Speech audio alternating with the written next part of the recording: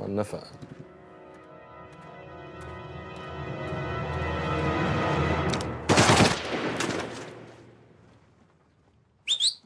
خدها اثبت. لو خطيت خطوة تانية هدوس على الزر. وطربق النفق علينا إحنا الاثنين. انت راجل كداب هو في حد بيستأذن عشان يفجر نفسه؟ ارمي البتاع دي يلا. شكلك ما انت مصدق. خطوة تانية وهتلاقي نفسك في جهنم. مع الزبانية اللي مثلك. وانت بقى كن فين؟ عند حور العين اللي بتحكي عليهم للعيال الصغيرين مش كده؟ طب انت بتقول انت تخش الجنة وأنا متأكد ان أنا هخش الجنة. دوس بقى على الزرار ونفجر نفسنا إحنا الاتنين ونشوف مين هيطلع كلامه صح.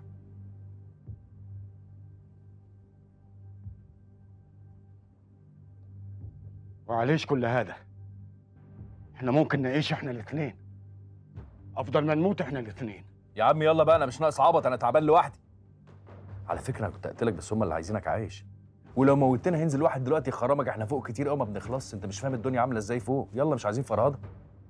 يا عم يلا خلصني. يلا.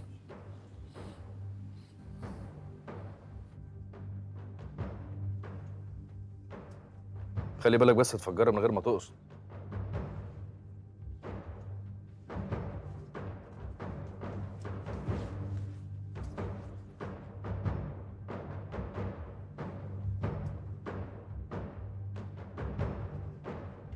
تعال.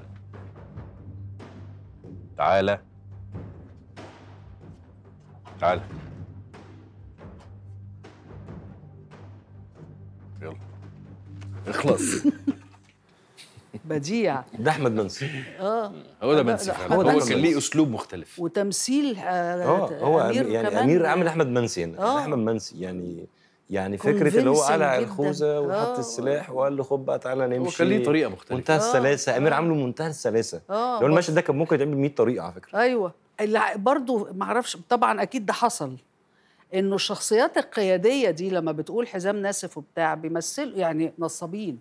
لأنه حتى هشام ده ولا بتاع ده لما دخلوا عليه قلع الحزام. يعني هو مستعد يصدر العيال بالحزام يروحوا في 60 ده هو لما يلعبها يلعبها تمثيل و وبلطجة ولكن في الآخر بيقوم قلع الحزام زي الحمار لأنه صح. هو مش مؤمن فعلا ففعلا خلاف في العقيدة ده. وأمير عامله السهل الممتنع اللي هو. آه آه، السهل آه. الممتنع اللي هو الحقيقي لطيف جدا آه يعني مسيطر وكمان مص... النعومة بقى ده الممثل بقى السلاسة حاجة بقى. جامدة الواد جامدة أوي. آه والله إنه- وده الواد ابتسامه حلوة وبتاع وراح عافقه من قفاه جت جامدة.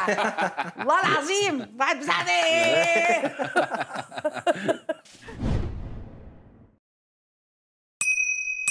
اشترك دلوقتي واتفرج على كل اللي نفسك فيه. واتش ما تخليش حاجة تفوتك.